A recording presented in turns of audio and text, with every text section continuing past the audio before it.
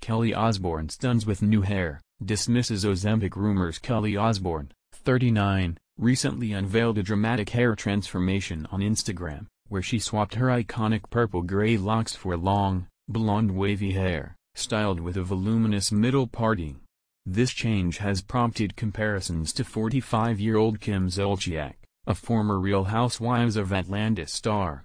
Fans and even Kim herself have remarked on the striking resemblance, with Kim commenting on Kelly's post, praising her incredible look.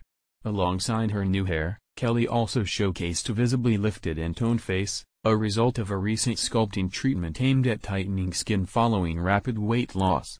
She shared details about using the Emsculpt and Emface devices, which provide non-surgical body and face sculpting, emphasizing their effectiveness in enhancing physical appearance without the need for surgery.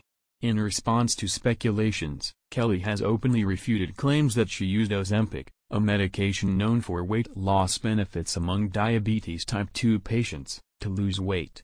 Despite her mother, Sharon Osbourne, 71, successfully losing 42 pounds through Ozempic, Kelly clarified that her own weight loss was achieved through dietary changes and a gastric sleeve surgery performed in 2018.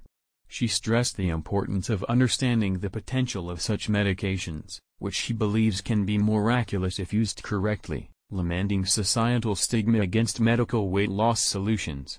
Kelly also highlighted her personal health journey, which included a significant weight loss after the birth of her son, Sid, in late 2022, with her partner Sid Wilson of the band Slipknot. She noted that the necessity to lose weight was also medically motivated, due to a gestational diabetes diagnosis and the increased risk of diabetes post-pregnancy. Her approach focused on eliminating sugars and carbohydrates, underpinning her commitment to a healthy lifestyle transformation following her pregnancy.